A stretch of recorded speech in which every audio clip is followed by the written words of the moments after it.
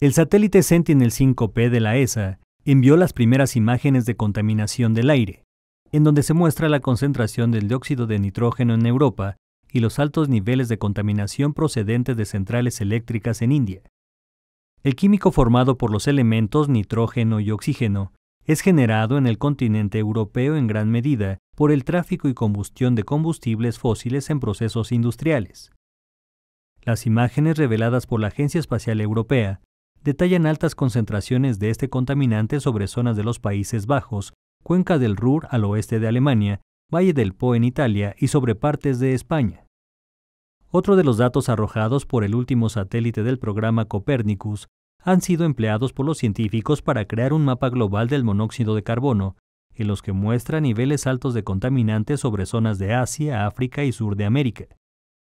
Sentinel-5P es el sexto satélite del programa de vigilancia medioambiental Copernicus de la Comisión Europea, pero el primero dedicado a la vigilancia de la atmósfera.